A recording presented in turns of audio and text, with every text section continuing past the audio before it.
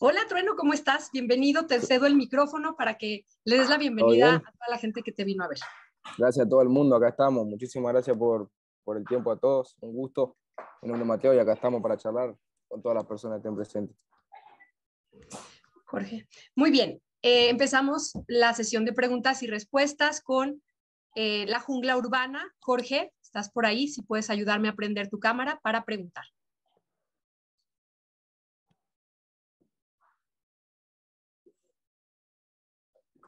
Hola, ¿me escuchan?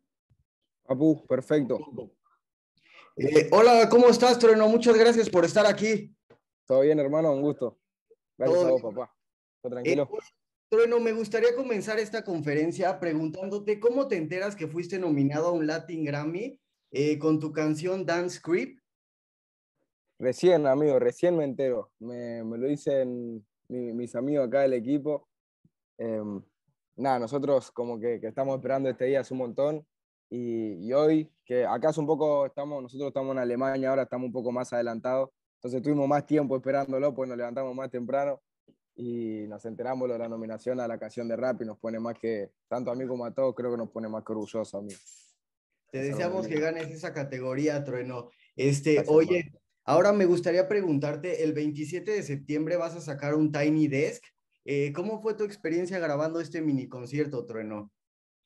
Eh, increíble, amigo. Es, para mí eso también es como, como, como llegar a un lugar de, de, honor muy grande porque es el segundo Tiny Desk que se hace en Argentina y este lo grabamos en La Boca, lo hicimos en mi barrio, con el show que tenemos hoy en día, con el disco que tenemos hoy en día que habla también de, de un poco como las raíces de cada uno y, y de dónde venimos y justamente eso estamos mostrando en el Tiny y hacerlo bien argentino con todos los músicos que hay, ya lo van a ver, eh, está, impresionante, Muchas gracias, Trono, te deseamos mucho éxito.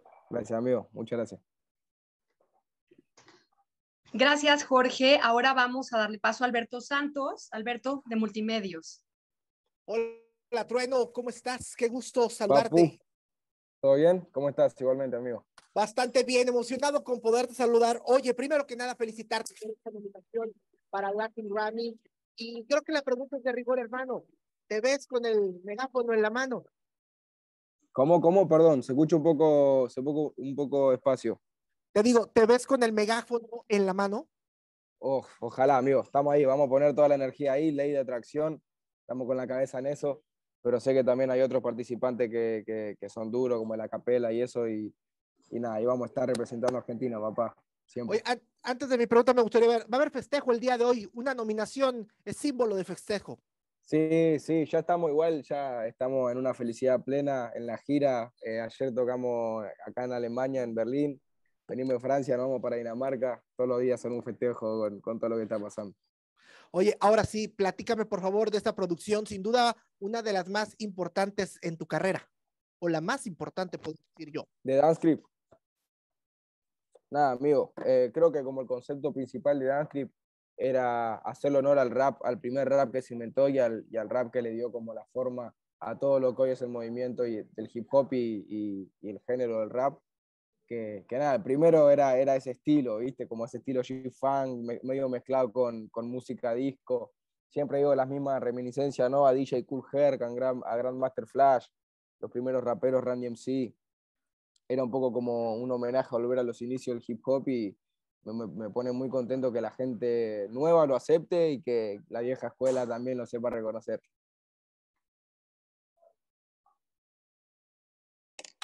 pues enhorabuena y nos vemos próximamente ahí en los Latin Grammy. Gracias, hermanito. Un abrazo. Gracias, Alberto. Un saludo hasta Monterrey. Ahora vamos a Querétaro con Mariu Mesa de Informativo por favor, informativo. ADN informativo, adelante. Hola, ¿qué tal? Buenas, ¿todo bien? Todo perfecto. Este, primero que nada, pues saludarte. Y mi pregunta va a nuestra gira. Que termina nuestra ciudad, ¿es algo preparado especial pues para final de recorrido por México? Sí, tenemos algo preparado para, para la gira en general, para todos los shows. Em, venimos, venimos como entrenando, sacamos el disco en, en mayo y, nada, todo, toda la gira que hicimos en España fue como un entrenamiento constante, nosotros en el escenario, mejorando, perfeccionando cosas todo el tiempo. y creo que hoy en día llegamos, llegamos a octubre y, a esta gira de México con un entrenamiento de, show y con, con, un conocimiento de las nuevas canciones también que, que nos hacen poner cosas nuevas, ¿no? y tenemos ahí una sorpresita para la gente, pueden pasar cosas. Eh, claro, este, que si cuenta con algún invitado o algún telonero para el evento. Eh, teloneros creo que va a haber y invitados, puede, todo puede pasar, todo puede pasar, esperemos que sí. No puedo decir mucho. Vamos ahora con Dion Cano de En Pantalla Tabasco, por favor. Gracias, buenos días, Trueno. Un placer poder platicar contigo. Has hablado acerca de tus expectativas que tienes en, eh, en, la gira de conciertos que vas a dar en octubre acá por México. Me gustaría saber tú que ya has tenido varias presentaciones en diferentes partes, ¿qué hace diferente al público mexicano? Y mira, yo siento que el público mexicano obviamente es único, pero tiene algo muy parecido al público argentino y es que de verdad les gusta el desmadre, les gusta el quilombo, les gusta saltar, les gusta que toquemos fuerte, les gusta que hagamos locuras y eso es importante, eso es importante porque por suerte todavía no nos tocó ningún público frío, ningún público ahí que, que, que esté a medias, pero es muy importante que el público esté ready para el show que nosotros vamos porque es, es aeróbico, es aeróbico. Finalmente, eh, dado el, nombre que, que maneja tu tour, para ti, ¿qué sería lo bueno y lo malo de lo que has vivido hasta el día de hoy? Y mira, te lo puedo decir muy, muy fácil, pues lo tengo muy presente. Lo bueno es todo lo que estamos logrando, viajar, conocer, que es un sueño de lo que más me gusta de, de todo lo que hago en la música, lo que más me gusta girar y tocarla. Y lo malo es extrañar un poco a, a mi novia cuando no estoy, a mi madre, a mi casa. Pero bueno, todo tiene, todo tiene su contrapeso. Este, también me gustaría preguntarte si ya estás listo, preparado para sentir toda la energía del, de los fans mexicanos, porque nosotros somos un poco intensos. Y si sí, ¿qué es lo primero que quieres llegar a comer cuando llegues aquí en tierras aztecas? Y yo, yo te digo la verdad, a mí me encantan mucho los tacos siempre, siempre tenemos que ser eh, sinceros y admitir que, que, nosotros somos un poco más blanditos que ustedes, que, no, que no, no, no, tenemos tanto aguante con la comida, entonces tenemos que ir de a poquito y pues si no al picante nos mate y quedamos así tirados en la cama. Pero creo que lo que más me gusta de México son los burritos. Los burritos son los más grandes. Sé que hay como diferentes estilos burritos, uno que son los más grandes que me matan. Son mi debilidad. Ahora, por último, Trueno, me gustaría si le puedes mandar un saludo a todas las infiltradas que están al pendiente de tu música siempre. Un saludo, un saludo a todas las fans, a las fans y a los fans, un saludo a todos. Muchas gracias, Trueno, y ya te queremos ver en Puebla. Un abrazo. Dale, un abrazo a toda la gente de Puebla. Gracias, Joana. Lucía Rosales de 89.5, la Radio TV, es tu turno.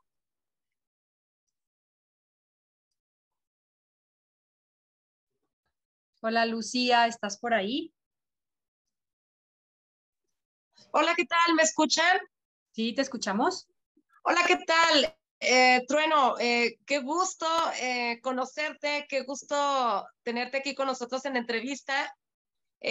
sabemos que estás súper ocupado y que vienes de una gira bastante pesada, pero yo quiero preguntarte algo respecto a, a tu a tu colaboración que tuviste con J Balvin.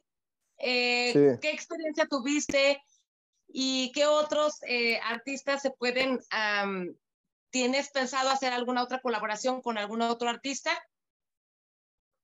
Eh, uf, sí. Em, tengo ahora una, una, colaboración pendiente con, con, con, un artista que siempre, siempre como que, que nos hacemos lo misterioso porque falta para que salga pero la próxima canción del disco que se desbloquea, que lo tengo también, es un featuring, también de América, no voy a decir de dónde, pues si no mi manager después me queda puteada, pero creo que, que, esa es una colaboración que también va, va, va, a dar mucho de qué hablar, y de la, de la colaboración, perdón, con Balvin, ¿qué te puedo decir? Él, él es un capo, como, como siempre cuento lo mismo, ¿no? Él, él es el que quiso hacer el estilo de reggaetón que yo estaba haciendo, quiso hacer el video en la boca, es una persona que, que estaba interesada en grabar y que, que se notaba.